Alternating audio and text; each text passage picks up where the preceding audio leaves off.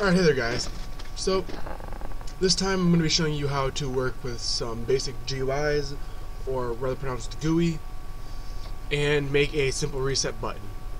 Now if you've seen a reset button in games, all it really does, if you don't know what it is, is you click a button and your character dies, basically. So, pr my previous video was the dot touched event, and you made your character die, or damage, however you want to add it, based on that. So with a screen GUI, you, you're going to want to insert a screen GUI. Now screen GUIs are only displayed within your player GUI, so this is something to keep in mind.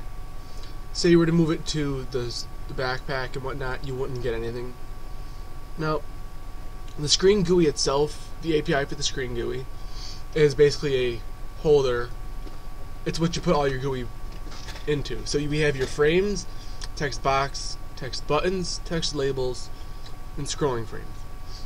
And then you have your image button and your image label. Now all of these are these are the actual things that you would have on your screen.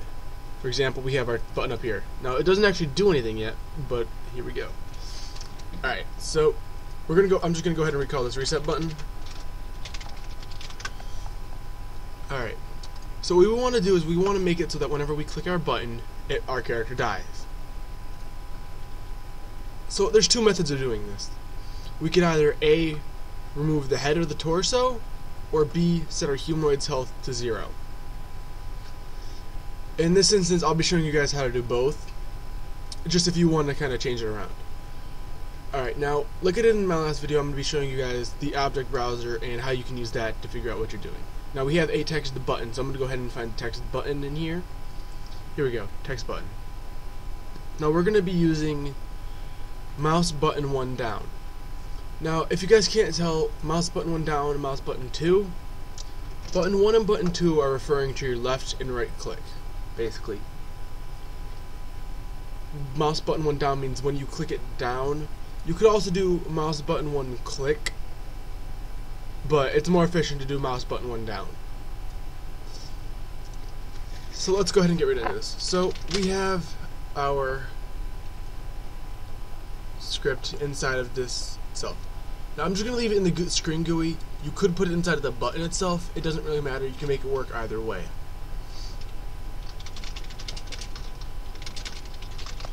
Alright, now what we're going to want to do first is we're going to want to find our character.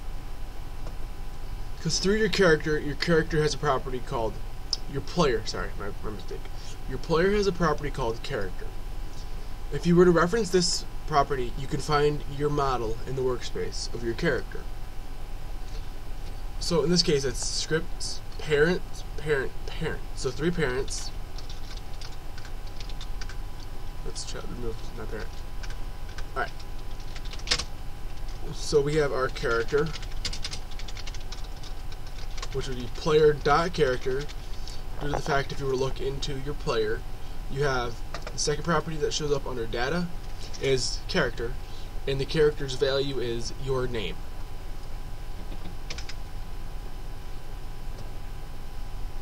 So now we have two options. We can either get the humanoid, the torso, or the head. Technically three options.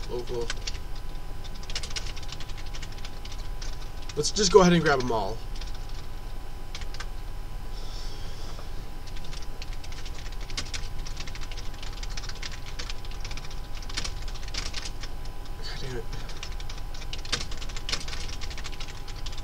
Alright, now the reason this works is because here we are. So we have our script.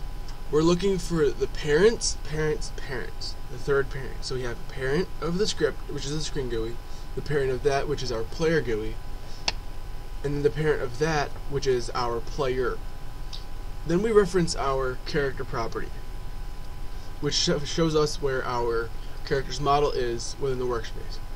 Now that we have this, we can find anything within here, so any of these things can be edited now. So what we're going to be working with is our humanoid, our head, and our torso. Now, before we can actually start making the um, clicking, we have to make it so we have we can make a variable for the button itself.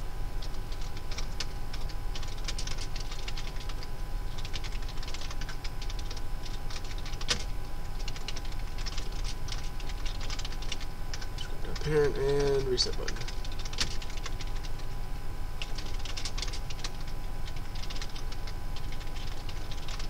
Alright. So let's go ahead and create a function called reset. This is the function we want to run. Alright, now with the event as I explained in the object browser, the event we want to call is mouse button one down. The way you set this up is similar to the way we did it with the brick. So we want to specify what we're using, in this case our button, which we have set to reset button as a variable. And since we're calling an event, we want to specify the event we're using, so we're using mouse button one down. Now you want to specify the function we're connecting. Let's just go ahead and make this print resetting, just so we can test it. So now, whenever we click the block, it should print resetting. Which it does down here at the bottom, if you guys can't see that. I'm to go ahead and scroll in just in case stuff gets a little too fuzzy in the screen. So, here's some methods we can do.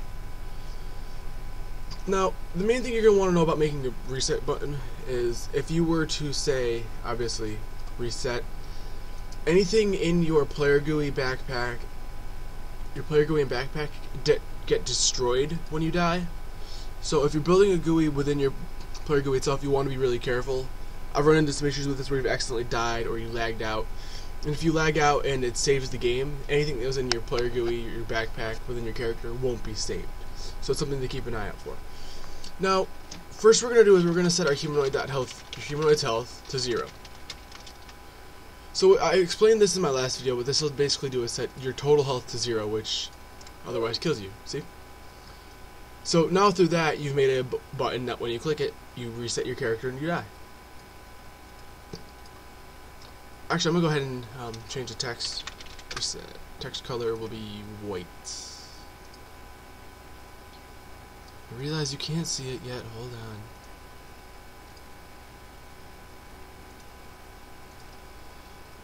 Alright, let's.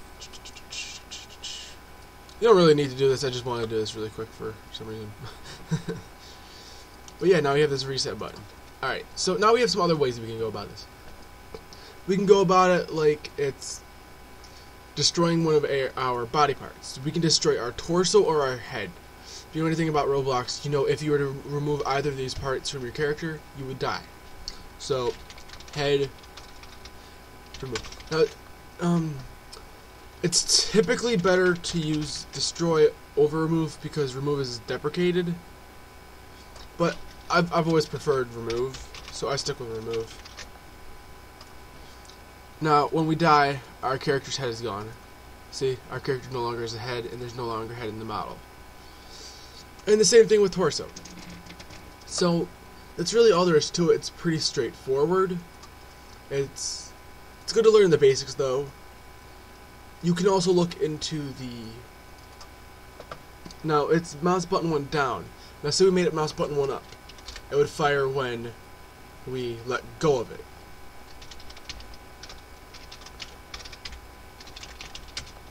I'm just gonna make our health 10 for the sake of not having to die and redo that. Now watch. I have my mouse down, and when I let go, if you guys can hear it, like, that's me pushing it down. It's still there. Now please note, it's only if your mouse is still over it. Your mouse has to be over the button itself. If you were to click down and hold drag over here and let go, it doesn't do anything. So I'm going to be ending this video here. Thank you guys for watching. I hope this helped you learn a little bit more. And I'm going to be doing some more videos in the future, so Please stay tuned in for those. If you're interested in helping out New Era Studio grow, feel free to join through my. you can find it through my profile on Roblox. You guys know my username SnowFunSize. We're currently working on building our community and getting our name out there. Hope to see you guys there. Hope to see you guys in my other videos. Have a good day.